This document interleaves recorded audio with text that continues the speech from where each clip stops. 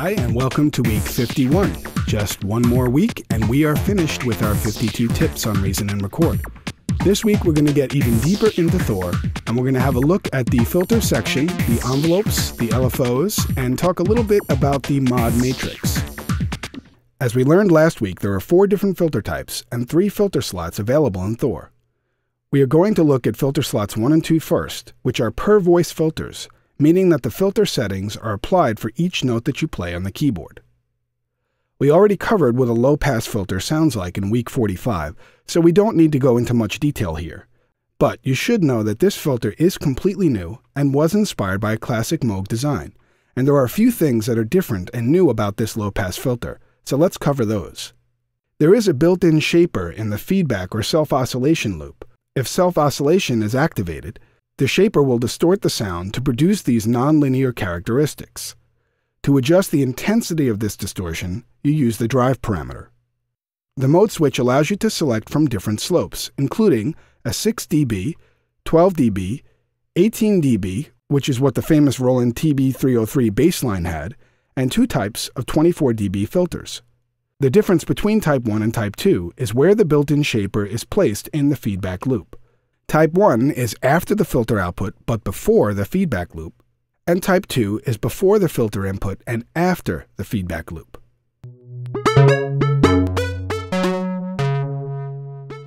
Note that self-oscillation must be activated for this built-in shaper to operate.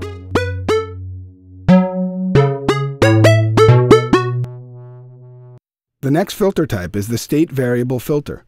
This is a multi-mode filter, and it offers 12 dB low pass, band pass, high pass, and notch and peak filter modes, which are sweepable between the high pass and low pass states, similar to the vintage Oberheim SEM filter.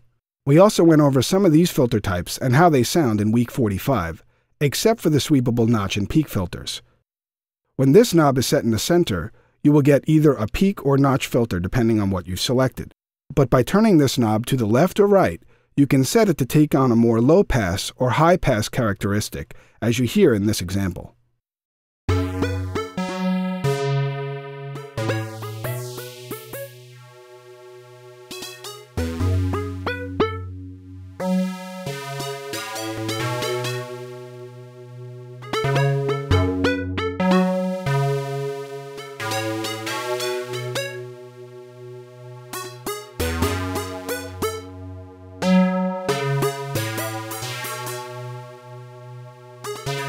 Both the low pass ladder and state variable filters can self oscillate and will produce a pitch with high resonance settings if self oscillate is activated. You can adjust how the frequency tracks the keyboard by using the keyboard knob. If it is set fully clockwise, it will produce a 12 semitone per octave tracking.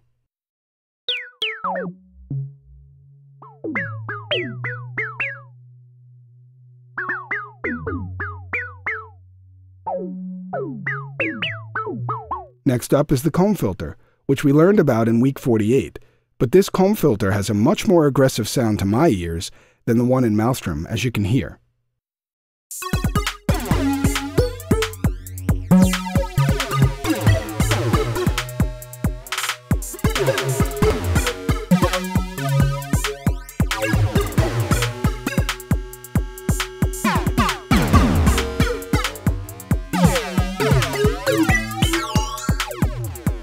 Final filter type is the formant filter, which produces vowel or vocal type filter sounds.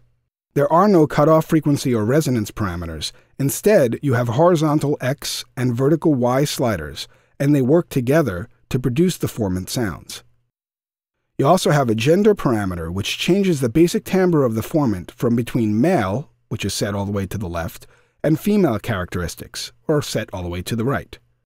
Note that the envelope, velocity, and keyboard knobs only affect the X parameter. As you can hear, this filter can be quite expressive.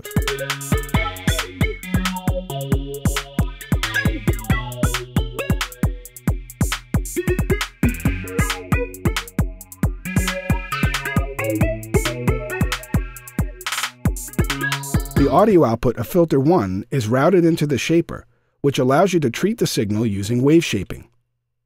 Now, we learned about wave shaping in week 48 on the Maelstrom. But this shaper in Thor has a total of nine different modes, and each mode will distort and modify the sound in a different way, with the dry parameter allowing you to adjust how intense the effect is, as you can hear when I just run through them in order here. Also remember that you have to activate the shaper here if you want to use it.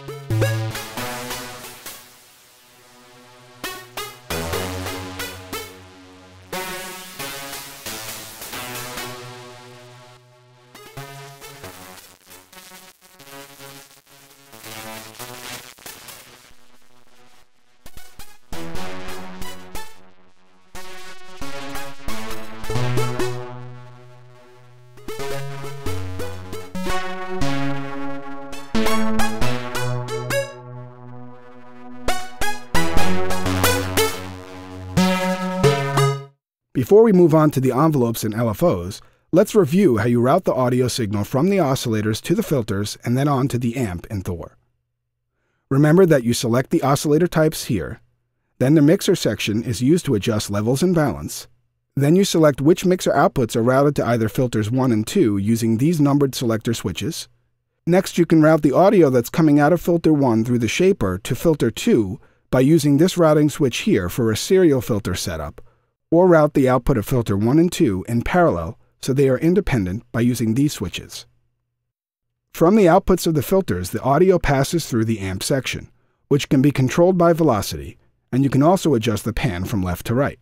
Finally, the audio passes through the global section, where you can use the delay and chorus effects, and also a global filter which would affect the entire sound, as opposed to a per voice filter like we learned about in filters 1 and 2.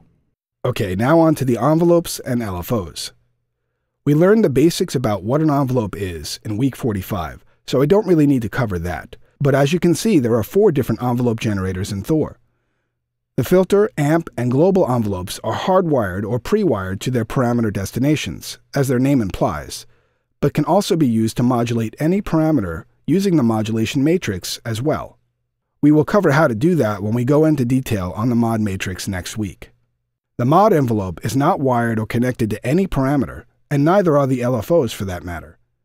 These need to be assigned to a destination parameter using the mod matrix. Both the mod and global envelopes can be synced to the tempo of the song by clicking this button. And when you do that, the parameter sliders will change from milliseconds to time divisions. You can also loop the envelopes and use them like additional LFOs by activating the loop parameter. The delay setting is how long the envelopes will wait until after they are triggered before you start to hear the effect, similar to the delay parameter that's on the LFO section. You could use the mod envelope to create sounds like a pitch jump in the sound for a really punchy effect by choosing the pitch of any of the oscillators as the destination in the mod matrix like this, and setting an amount to some value other than zero.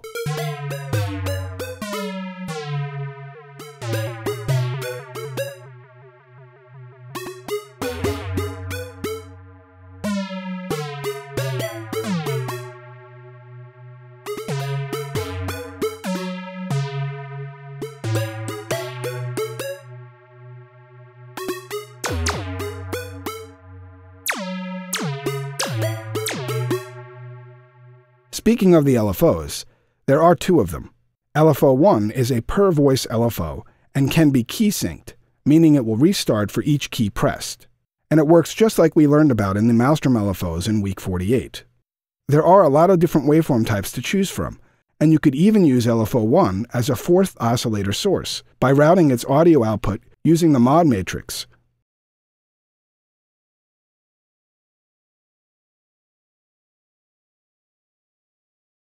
and also using the keyboard follow knob, which when turned fully clockwise will allow you to fully track the keyboard to change the LFO rate or pitch.